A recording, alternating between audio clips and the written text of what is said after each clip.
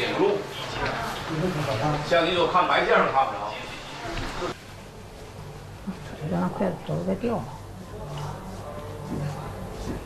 筷子呢？我下去了就先别吃，我就好了。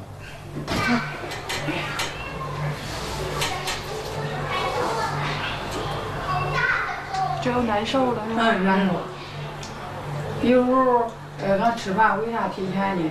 提前了，他趁他好时候不闹时候叫他吃，到闹的时候都叫他休息。我也想好好的让他们少操心，但是有的时候，嗯，做的不好，我就没有我妹做的好。我爸老说你放开，没事儿的，有我们在。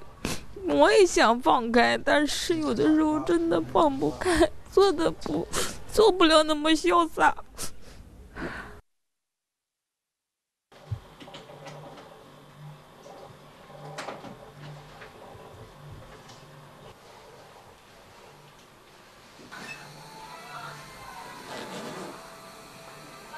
老两口知道，每天巨额的开销让两个懂事的女儿承受很大的心理压力。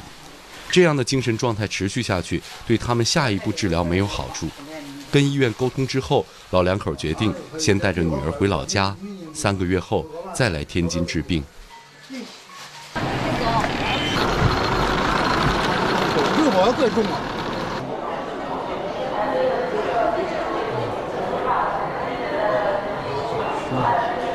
安徽阜阳，哎，哎，还几个呢？呃，两张硬座，两张卧铺。等会儿呢啊，这票核对好走啊。好嘞。汤不要喝那些啊，一个差不多就算了啊。这也是好意。对呀，这是好意。两条啊，两个人不一个人一条吗？第你都打着。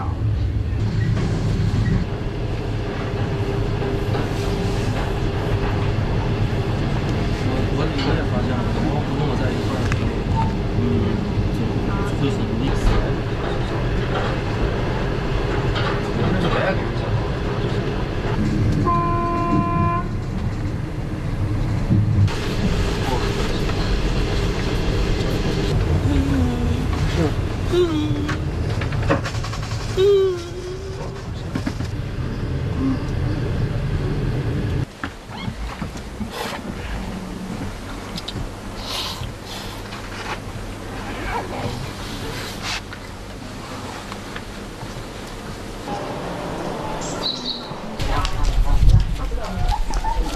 我这大床，那个床呢？这床是我爸我妈看我们睡的，他走的时候都没收拾就走了，拿出去吧。这花谁送的？这是我姐同学送的，还有我们同学老师送的。那个坏，这个还要。说好几天没回来，你挺想家的哈。嗯，还是非常想家的，回来的感觉不一样，自由自在了感觉。嗯。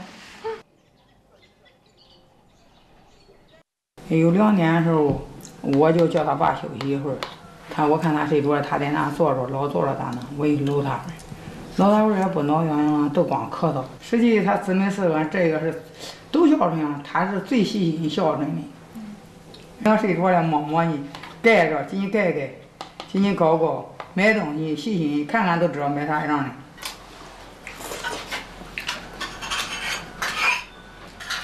有时候喝那不习惯，一般就不喝，全那一道喜欢喝。老两口有四个女儿，两个姐姐对待双胞胎妹妹也格外的体贴疼爱。大女儿考虑父亲开电瓶车接送两个妹妹透析不方便，就拿钱买了一辆电动三轮车。你看，那上医院干啥咨询事都俺姐，因为她离得近。我其他的也帮不上忙，只能干干家里琐碎事。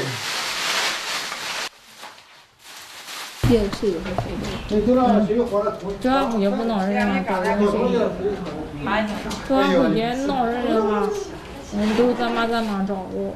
你问他你休息不好，不还都是咱妈咱妈忙吗？